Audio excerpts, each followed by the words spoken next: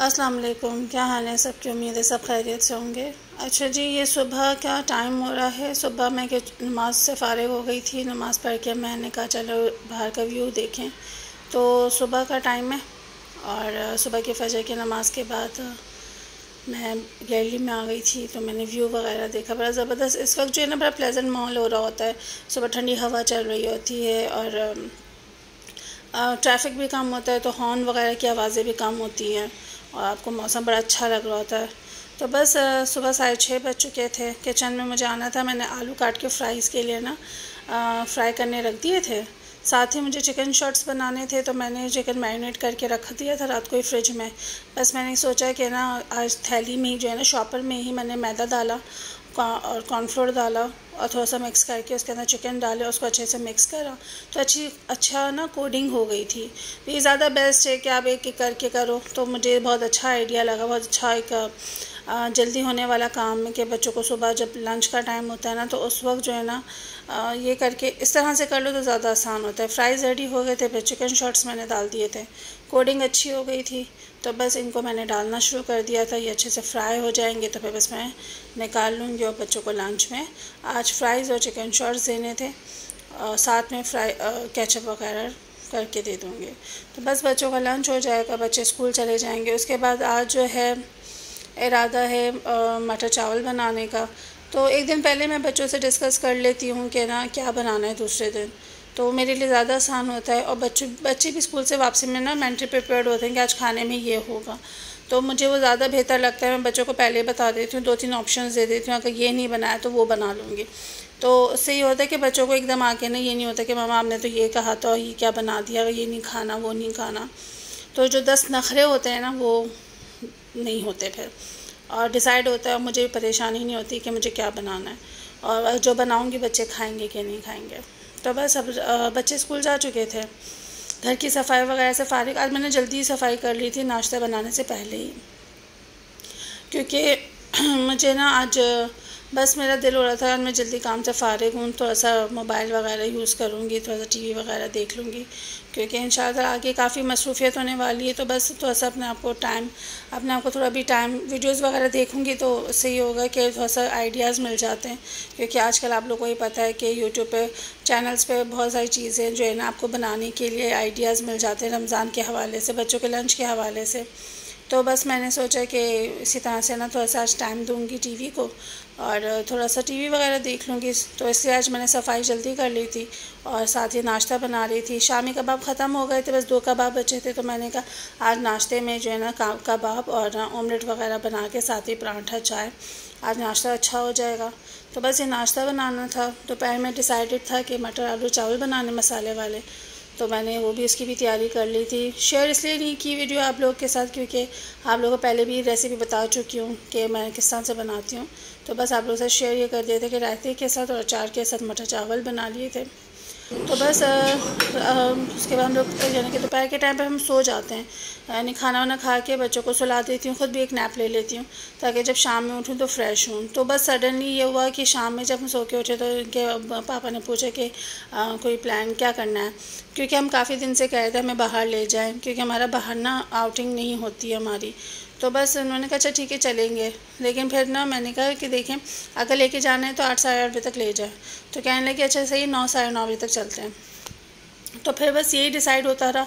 और बच्चे अपनी पढ़ाई में ही मसरूफ़ थे, क्योंकि अभी नेक्स्ट वीक स्प्रिंग वेकेशन है, वो स्टार्ट हो जाएगा बच्चों का। और उसी में ही स्प्रिंग वेकेशन में ही जो मैं बच्चों को पेपर्स इनके असेसमेंट भी हैं तो जैसे स्प्रिंग वेकेशन ख़त्म होगी मंडे ट्यूसडे तक और मंडे को फ़र्स्ट डे होगा स्कूल का और वेनसडे को इनका असेसमेंट है। तो उस दौरान जो है ना, पूरी स्प्रिंग वेकेशन एक तो रमज़ान की प्रिपरेशन होगी और बच्चों के असेसमेंट की तैयारी तो बस आज हम लोगों ने कहा, मैंने कहा, अब ले के चलें।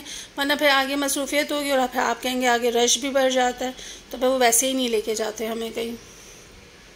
तो बस ये डिसाइड हुआ कि ठीक है, हमें गोलगप्पे वगैरह खिला दें, क्योंकि गोलगप्पे चाट वगैरह खाने से भी ना इतना आपका पेट फुल हो जाता है कि आपको फिर रात को खाने की ना नीड नहीं होती, ज़रूरत महसूस नहीं होती। तो बस हमने चाट और गोलगप्पे और साथ ही फ्राइज़ वगैरह बना, मंगवा लिए थे। अच्छा इसका जो है ना मिस्टर चाट का जो है ना, हमें चाट और गोलगप्पे अच्छे लगते हैं साफ़ सुथरे होते हैं तो इसलिए और जायके में बहुत मज़ेदार था। और ना, हम, हमने ऊपर से ना ज़्यादा स्पाइस और ना जो आपकी क्रिस्प पापड़ी जो होती है ना, वो भी ना ज़्यादा दलवाई थी।